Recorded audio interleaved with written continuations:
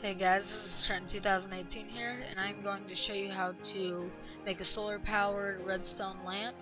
Turns on during the night. First what you want to do is you want to make a line so you can put your redstone down. Make it too deep. For some reason I'm breaking faster than normal.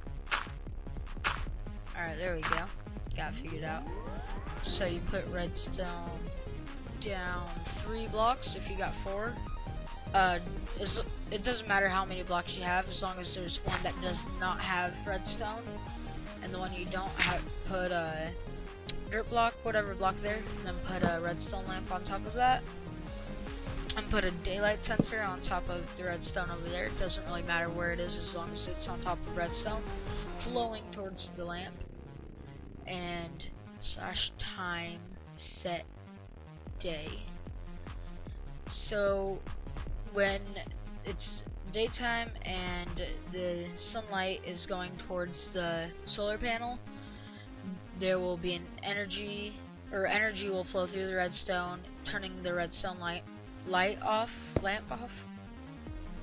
And uh, once it turns dark, the redstone lamp should turn on. Time set night.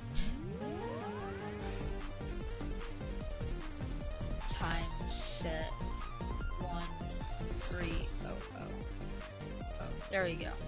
That should be dark enough, and it turned on. Alright, this is very easy to make. Um, doesn't take that many materials. I currently do not know how to put a make a daylight sensor. Um, I'm pretty sure you can find that on Minecraft.net or the Minecraft forums.